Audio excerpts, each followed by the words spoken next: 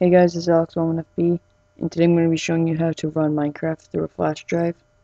That means you can run Minecraft basically through a flash drive. So if you have your flash drive with you, basically you have all your saves, mods, everything you have, and you can plug it into a friend's computer, and you can play your um, you can play Minecraft like you did on your normal computer. So First, you're going to have to go to your web, this website right here. Um, it's called portableapps.com slash node slash 25222. Um, the link will be in the description. You're going to download this thing right here. Um, so yeah, just click on that. To want to save. And you'll get this thing right here.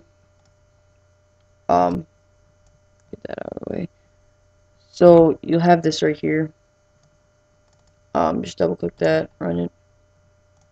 Um,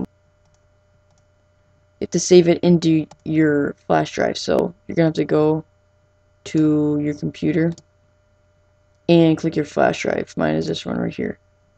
Um, but I already did it, so yeah. So I'm going to my flash drive and you should get something that looks like this. Double click that and you should have something like this. Alright, so now what you're basically going to do is you're going to double click this and um, don't pay attention to this right here. Make sure it's Minecraft Portable. And a window will show up that's kind of looks like this and it'll go like that. Um, and yeah, so it will run and then you'll get Minecraft um, you might have to restart the program after you click it for the first time, so just try it a couple times and it should work. Um, it's I noticed it's a little slow on boot up, but I don't see any difference. I actually think it might be better to run it off a different hard drive. Um, I don't see any difference with the gameplay. Um, so, yeah. Um, and when you start it up, it won't have any of your mods, nothing on it like that.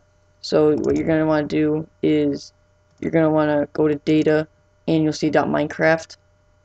You're going to want to get your .minecraft and put it into there. Replace it. So it'll be like if, if you're playing it on your computer.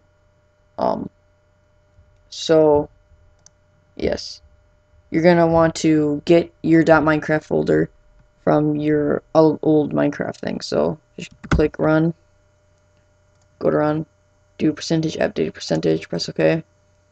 Click the .minecraft thing, and you're going to want to copy and paste it into this. Okay, and replace it.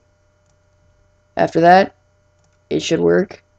Um, and that's about it. So comment, rate, and subscribe. Oh, this also works with multiplayer if you're wondering. Uh, and if you have any problems, just leave comment and I'll try and answer them. So, yeah, that's about it. Thanks for watching.